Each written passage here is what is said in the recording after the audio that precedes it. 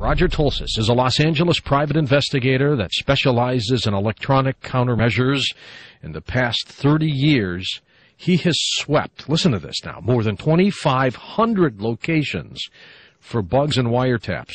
He has worked for millionaires, gangsters, hmm, who would they be? Movie stars, superstar athletes, cult leaders, politicians, doctors, lawyers, real estate moguls, psychics, UFO contactees, gamblers, casinos, sport betting operations, boiler room operators, smugglers, union leaders, aircraft builders, soldiers of fortune, madams, cult deprogrammers, diplomats, arms dealers, name a few.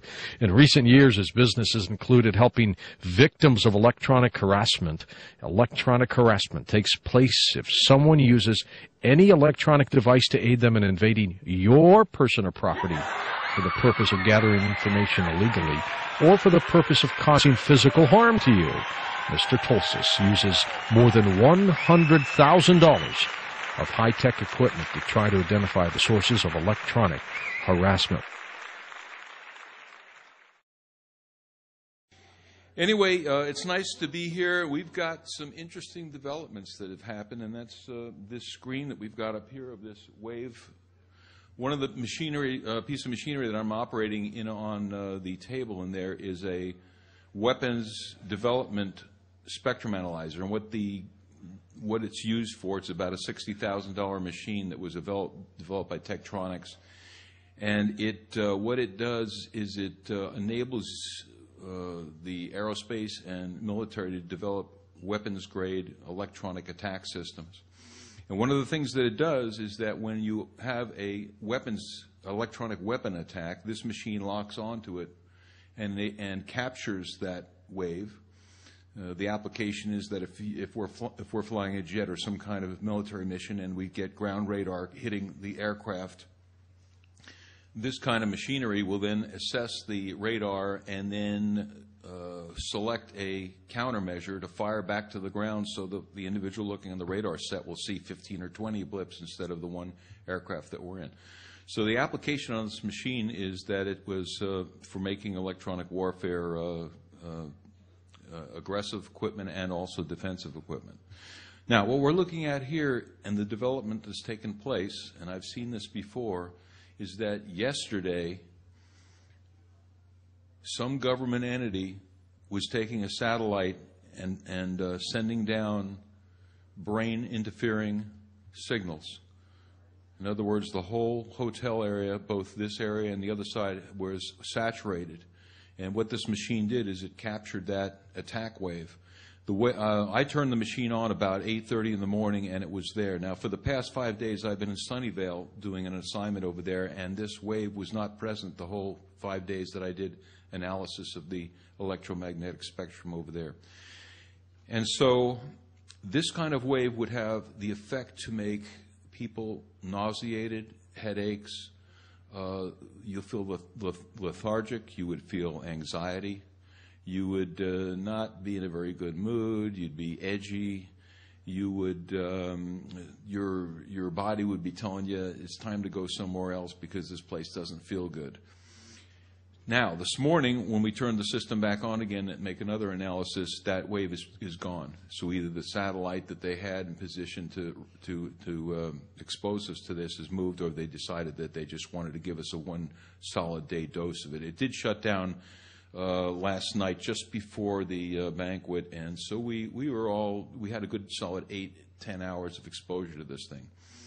Now I don't know how many people have been here both days that noticed that today they're feeling a whole lot better than they did yesterday, and I've talked to quite a few people uh, and asked them whether they feel better and whether they felt anything yesterday. And I've, there's been quite a few people that have said that they're feeling a whole lot better today than yesterday.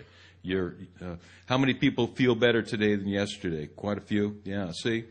So this stuff is is the real deal. And the interesting thing about a convention like this is that they're concerned enough about us talking about these matters and all the other related subject matters that uh, your First Amendment rights in position, but that doesn't mean they're not going to send some kind of attack wave down there to try to discourage the meeting. And that's what happened.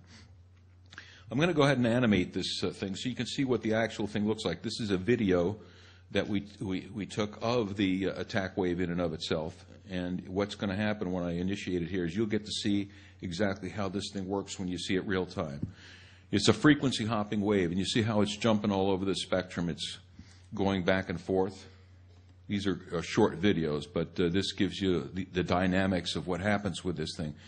And these waves are pulsed microwaves, so they're, they're not only just covering one area, they're sweeping back and forth, and they are causing interference to the brain because the brain is basically also a computer that uses synapse firings to, for all your thoughts and body control. I'm going to run this one one more time, and I'm going to show you a, diff- a different view of it because I changed the uh, settings on the, uh, on the uh, machine in terms of trying to make further analysis. This one is the, is the most real-time analysis, and that's why the wave looks like it's going e- even faster. The next one I'll show you, this machine has different kind of uh, capabilities to make analysis, and so this is not my computer here, so I'm going to be a little slow on it. Let's close that out. Uh, it is 1.7 gig, almost 2 gigahertz. The numbers that are on the bottom left right here is the band center, this 1.775 gigahertz. Now, in this case, I'm using what's known as a marker, and that's going to be this little blip right here you see. Once I animate it, what the blip does, this is what's known as sig track. So it's going to jump around, even though the actual wave that they fired at us is jumping around. The sig track is going to follow it, and you can see that here, that little V that's on the top. And what that does is it, it will moves with the signal as the signal jumps, and as a consequence, you can see up in the top up here, we're getting a chance to look at the actual power levels. The number that's that's rotating in the, in the upper right corner says minus 50, 50, 40. It's what it's doing is, is summating those different power levels that are being fired at. Now, the actual level of this thing, this, in terms of its power right now, or when we captured it, it's running about two times the power of an FM radio station. Now, if you think about an FM radio station, normally they're 35, they can be anywhere from 35 million watts to somewhere in the range of uh, 50, 50 megawatts. So, for a signal to come up to these levels where you're roughly twice the, your, your ambient FM station means that we're dealing with a fair amount of power coming out of the sky. The uh, this thing to run one more time, and then we'll move on to the last one. The uh, numbers in the top left is the actual frequency that it's hopping to. It's 1.771, 776. So this is what was being radiated down on all of us from above yesterday all day long. And now that I've told you about it, you can maybe think back also on maybe something, some things you were feeling yesterday that just weren't quite right and be, uh, because we are archiving this attack. And you know, it's interesting. You don't often get a chance to capture these attacks. Usually, they're not so brazen that uh, that they're going to want you to see exactly what kind of technology they're using on it on you. So I've only had maybe ten attacks or so that I've been able to document like this. One of the other ones was the uh, mind control meeting up in um, in Davis, which was a few years ago with Marianne Stratton. I was running machinery up there also, and then we got the same kind of similar kind of attack, and everybody was feeling bad. That particular meeting was in a church that was out in, the uh, farm area, a little bit south of Davis. So I went out there with my binoculars to see if I could see any vans or any kind of cell towers or any kind of other sources that could have caused that wave, but uh, there was nothing around. It was once again coming straight out of a satellite. And uh, in my information here, we'll have a look at what some of those satellites look like as we move towards some of the other systems. But this is a really a special thing to be able to capture one of these things. Now, here's the uh, last animation on on, uh, on this thing. And what I did on this one is I made the, band, the bandwidth wider, so we're able to see it jump over a wider range. It doesn't stay at one frequency, and that's one of the reasons that it's so uh, efficient at causing uh, brain interference is because you know it's not just going to resonate one particular st- speed and one particular frequency. It's moving and jumping, and the overall motion in and of itself has a frequency to it. So this is this is the real deal satellite type electromagnetic brain interference type of uh, situation. And if you want to see anything further on it, the actual machine that I captured it on is running in the other room on the table. And also, we have these QuickTime videos, that, uh, the, the, video presentations themselves, uh, over in the other room as well.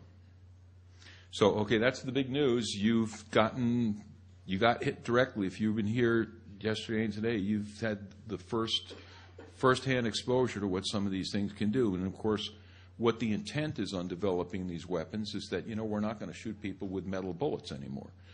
The whole idea is to be able to go to the battlefield and turn on weapons of, the, of this nature and jam people's ability to oppose you just because you can cause their thinking and their bodies to be so sick and so overwhelmed and so confused that they will no longer be able to fight. And then and the nice thing about that is that you don't have to blow up the cities, you don't have to blow up the bridges, you don't have to blow up the infrastructure like we, we did in Iraq and then have to go spend billions of dollars to fix it. You just jam the people that you want to jam, and that's the outcome.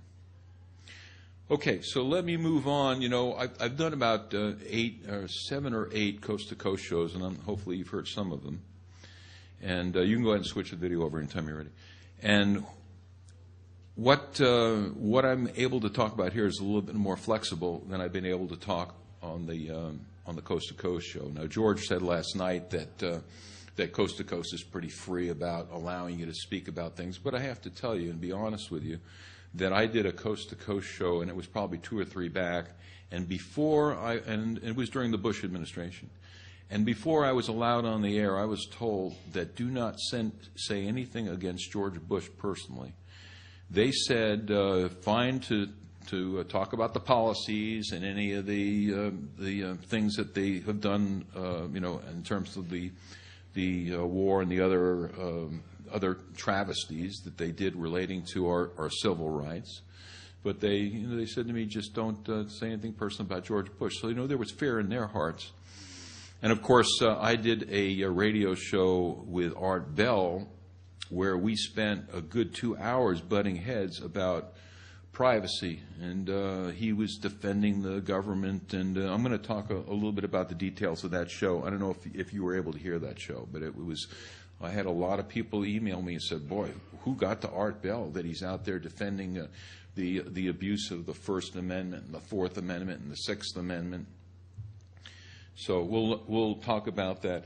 Anyway, be, that we're here, I have a little more flexibility to talk a little more politico. And you know, after listening to the some of the other speakers, I'd like to make a couple of comments because uh, basically I've stud, studied sovereignty and law for for six years, and I've uh, I've sued the government personally uh, three times. I've filed habeas corpuses. I've got a larger constitutional law library in my home than they've got in Riverside County, California.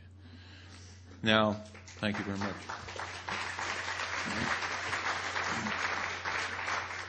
And the really good news is, is that you can go on eBay and you can type in constitutional law book, law books, and you will have access to buying $60, $100 law books for $15, and you can do it yourself. It took me a lot of years to get the particular books I wanted, but that's how easy it is. These kids that study law for a while, they turn in these uh, educational books, and uh, um, you really can, can, can get some terrific information that you can have on hand. However, let me just move back a little bit. Now, before George Bush got into office, we all know that Bush Sr. made this speech about the New World Order. And uh, it was an eye opener for everybody because basically what he said, you know, is that we're just going to let the corporations run the world and we're all going to be happy ever after. And then when George Jr. got in, I wish I could be there to see it, but here's what I, the way I think the conversation went. George Sr. said to George Jr., You've got three objective, uh, objectives. I want you to dismantle, disrupt the United States military. I want you to dismantle and disrupt the United States Constitution. I want you to dismantle and disrupt the United States economy.